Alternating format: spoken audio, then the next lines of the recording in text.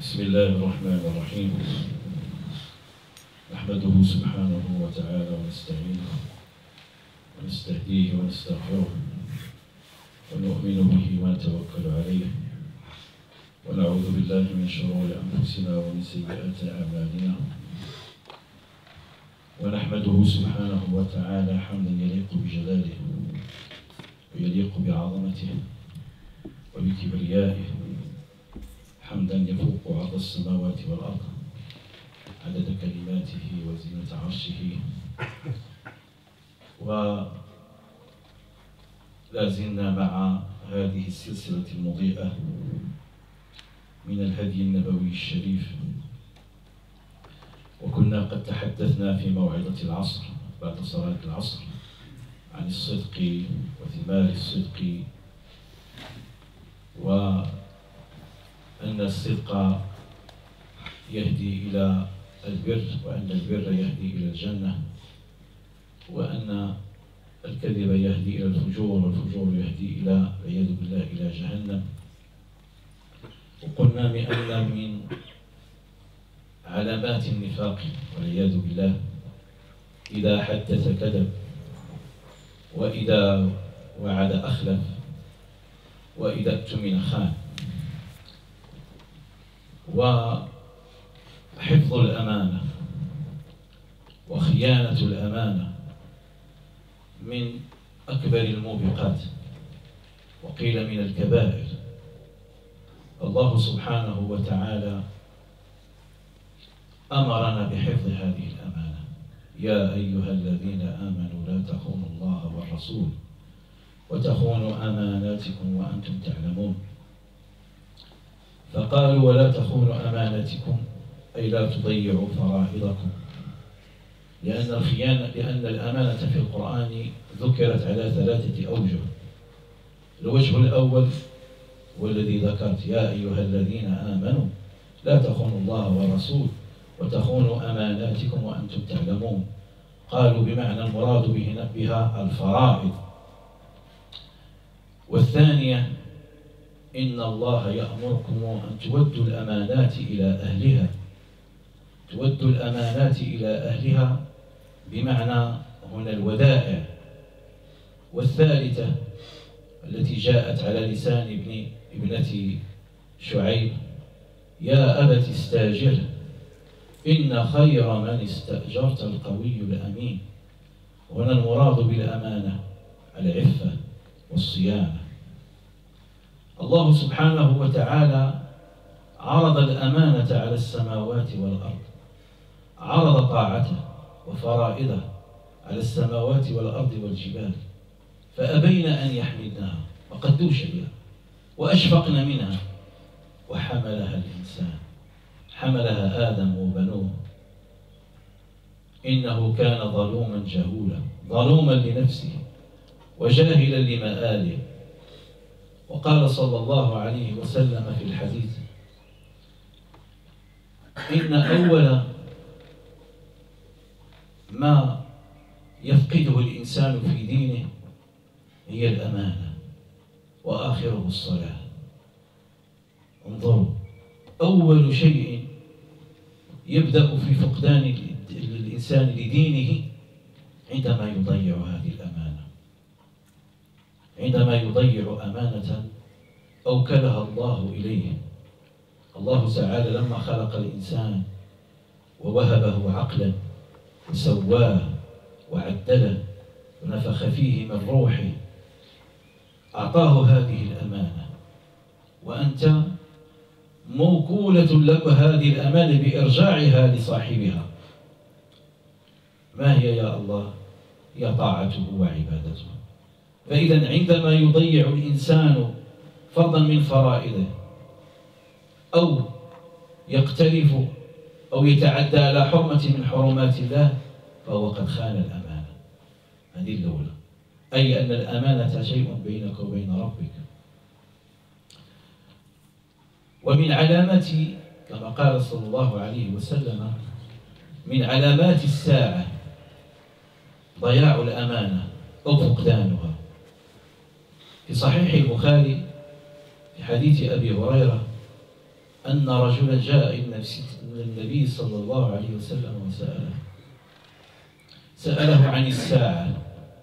فقال له صلى الله عليه وسلم إذا ضيعت الأمانة فذلك علامة الساعة.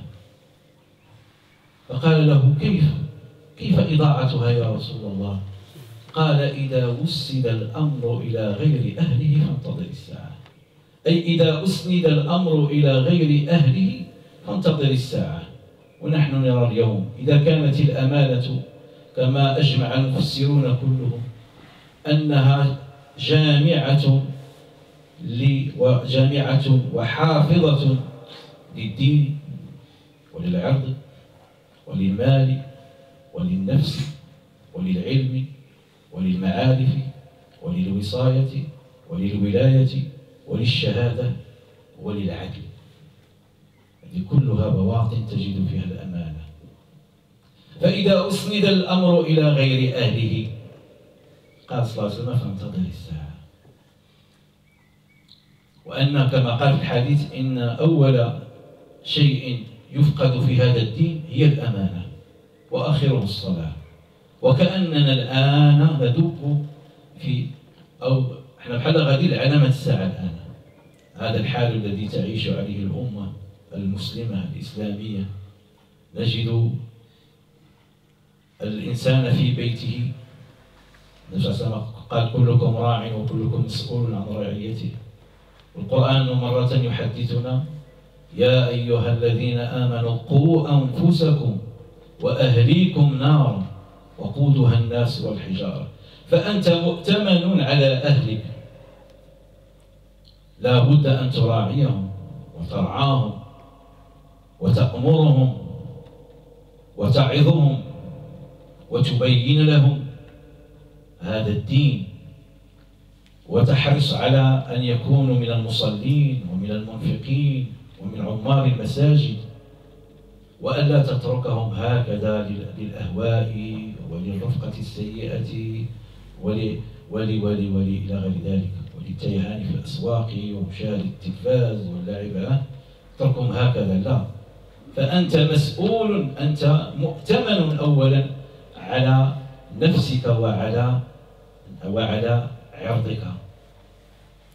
ولذلك قال النبي صلى الله عليه وسلم في حديث رواه مسلم إن من أشر الناس يوم القيامة منزلة عند الله. رجل يفضي إلى امرأته وتفضي إليه ثم ينشر سرها. لا إله إن من أشر من أشر العباد يوم القيامة منزلة عند الله في يوم القيامة رجل يفضي إلى زوجته. وتفضي إليه. كيوقع شي شنآن ولا سوء الفهم ولا وصل المحاكم؟ تنشر سرها أو ينشر سرها. بحال بحال ذهبوا الآن إلى المحاكم وصاروا تسمعون العجائب والغرائب. هذه العيشة الحميمية التي يعيش الإنسان بين أبنائه ومع زوجته. هذا شيء بينه وبين زوجته.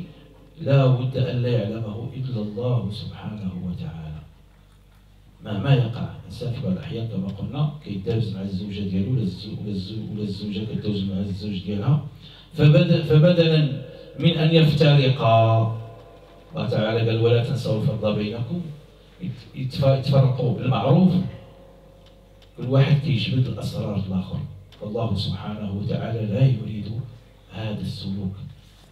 لا يريد أن يفضي أو ينشر كل واحد الغسيل ديال الآخر خصوصا ما يقع في الفراش وما يقع بين الرجل والمرأة. كذلك حفظ الودائع وحفظ المسؤولية أي أن الإنسان إذا كان في معمله أو في مصنعه أو في قسمه أو في صناعته فهو مؤتمن على ما يفعل لأنه يتقاضى أجرا. ويتقاضى آه كما قلنا أجرا. وكيخدم باش يأخذ واحد مقابل فهو كما قلنا في صلاة العصر غير أن يكون صادقا في أقواله وأفعاله لا بد أن يكون أمينا. بحال سيدنا يوسف وقال الملك وقال الملك أوتوني به كتقرأ حفص وقال الملك ايتوني به ايتوني به نعم. وقال وقال الملك أوتوني به استخلصه لنفسي. فلما كلمه قال إنك إنك اليوم لدينا مكين أمين.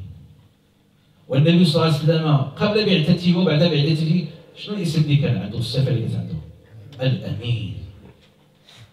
والله تعالى كيف مدح المؤمنين عباده المؤمنين ووعدهم بالفردوس الأعلى؟ من صفاتهم ماذا؟ والذين هم لأماناتهم وعهدهم راعون. يرعى هذه هذه الأمانة بالحفظ وبالصوم سواء في بيته أو مع نفسه أو إذا كان قاضيا أو كان أمينا على المال المسلمين. يحفظ هذه الأمانة لأنها قلنا إذا ضيعها أو اختلسها أو نقص منها فليتأكد بأنه قد وقع في كبيرة من الكبائر باتفاق العلماء. ولو هذه وهذه يستوجب منه التوبة النصوح. يا أيها الذين آمنوا توبوا إلى الله توبة نصوحة. عسى ربكم أن يكفر عنكم. كنت تترجى من الله سبحانه وتعالى بتوبتك النصوح. عسى ربكم أن يكفر عنكم سيئاتكم. ويدخلكم جنات يوم لا يخزي الله النبي والذين آمنوا معه. نورهم يسعى بين أيديهم وبأيمانهم. يقولون ربنا أتمم لنا نورنا واغفر لنا إنك على كل شيء قدير. وكذلك من حفظ الأمانة الورع والعفة والصيانة. كيف الورع؟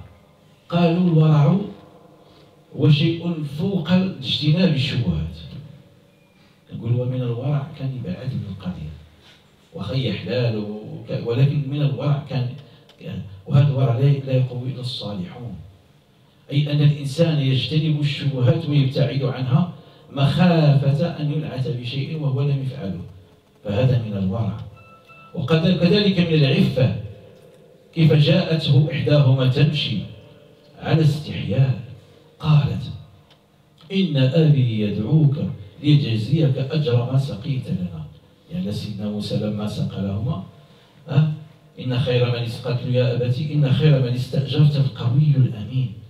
قالت قوي لأنه سقى لنا وأمين أنها عندما أتت به إلى بيت أبيها كانت هو كان قدام وهي كانت ترمي له الحصى باش يعرف الطريق.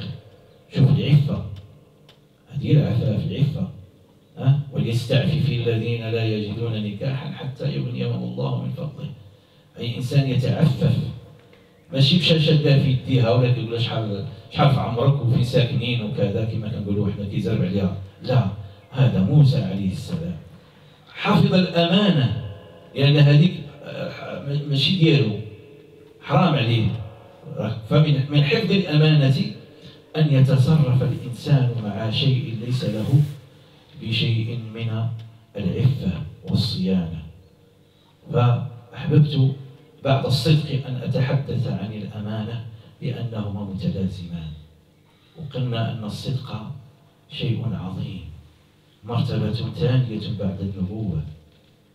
أنعم الله عليه من النبيين والصديقين والشهداء والصالحين. وصاحب الصدق له يوم القيامة منزلة عظمى عند الله سبحانه وتعالى. وكذلك صاحب الأمانة.